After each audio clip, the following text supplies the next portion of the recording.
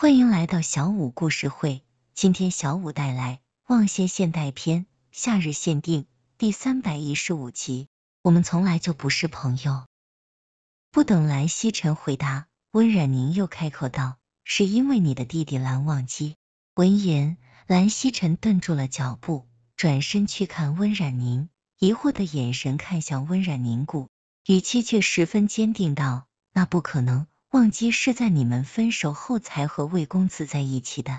温冉宁嘴角露出一抹讥讽的笑容，是吗？当然。蓝曦臣道，我清楚的记得，你跟魏公子分手的时候，魏公子很难过，是我陪他在我家的天台上喝了一整夜的酒，那晚他还喝醉了，是忘机照顾的他。之后又过了很长一段时间，这中间还发生了一些事情。他们才阴差阳错的走到一起的。他们之所以能有现在的感情，也是因为在一起后努力培养的结果。见蓝曦臣如此袒护自己的弟弟，温冉宁又冷冷的笑了一声。可是你知道，你知道蓝忘机单独去找过我的事情吗？嗯。蓝曦臣抬眸，疑惑的眼神看着温冉宁。温冉宁不紧不慢的把那段录音拿出来放给蓝曦臣听。和之前同样的声音传出，离开魏婴，这五百万就是你的。离开他，自己想办法主动和魏婴分手，不然你不会有好下场的。最好不要让他知道，如果你让他因此而伤心难过了，我绝不会放过你。亲耳听见自己弟弟的声音，蓝曦臣眉头紧蹙了一下，但很快他又否定了自己的怀疑，看向温冉宁道。仅凭着没头没尾的录音，能说明什么？我相信忘机的人品，那你是说我的人品不值得相信吗？温冉宁反问。当然不是。蓝曦臣浅笑，我只是觉得这个录音证明不了什么。闻言，温冉宁笑了一下，放在膝盖上的手指却慢慢收紧。他听说了蓝家两兄弟感情很好，果然是真的。不过没关系。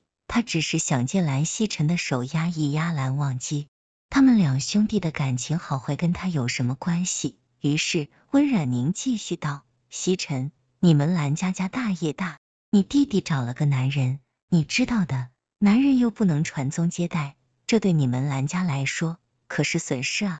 听到这里，蓝曦臣总算是听出来温冉宁的用心来了，他笑了一下，反问道：“那你呢？”同样的问题也同样适用于你啊！就像你说的，男人又不能传宗接代，你又为什么要缠着一个男人不放呢？温冉宁被噎得说不出话来，脸色一变，半晌才憋出一句：“我家没有家财万贯，我家也没有这么大的家产可以继承。”蓝曦臣闻言一笑，第一次这么不谦虚的道：“家产我家倒是有。”但随即蓝曦臣又话锋一转：“可这也没什么啊。”忘机又不在乎家产，你知道的。我们从小父母双亡，我们兄弟俩相依为命，所以我对弟弟最大的要求就是他幸福快乐就行了。这些生不带来、死不带去的东西，我从来不愿强加给他。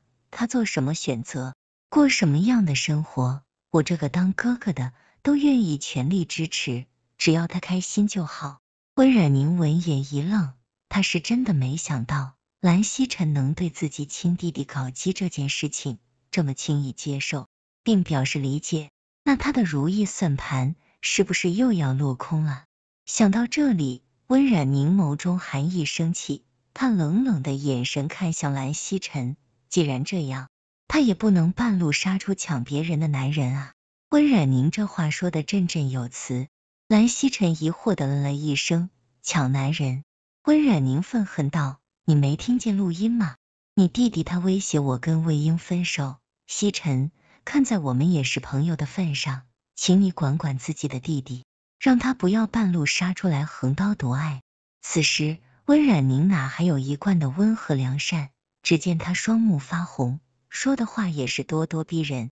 蓝曦臣是绅士，可他凭什么惯着一个想要夺他弟弟所爱、毁他弟弟幸福的人？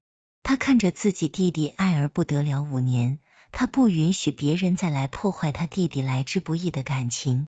魏公子和弟弟是怎么走到一起的，他再清楚不过。他绝不可能信温冉宁那有头无尾的一段录音。蓝忘机的人品，他从来坚信。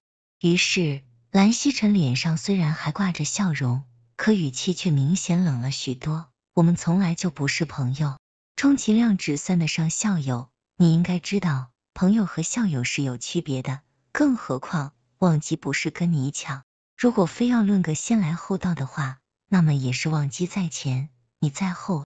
忘机在五年前就开始喜欢魏公子，而你。是去年才认识魏公子的吧？这么一论，何来忘机跟你抢一说？另外，魏公子是我的朋友，而你是魏公子的朋友。蓝曦臣话里透着几分冷厉，就连今天来看你，给你买药，给你清扫地上的碎玻璃渣，都是受了魏公子和我弟弟的委托，不然仅凭校友的关系，是不足以让我亲自登门做这些的。蓝曦臣说这些话的时候，语气分明平静的只是在陈述，可听在温冉宁耳朵里，却成了讽刺。